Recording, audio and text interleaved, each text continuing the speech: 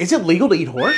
This is interesting because while it is illegal in the state of Texas and has been illegal since 1949 to sell horses for slaughter for consumption, you can actually eat horse. There's no law against it. There's just a law against selling horses to be slaughtered.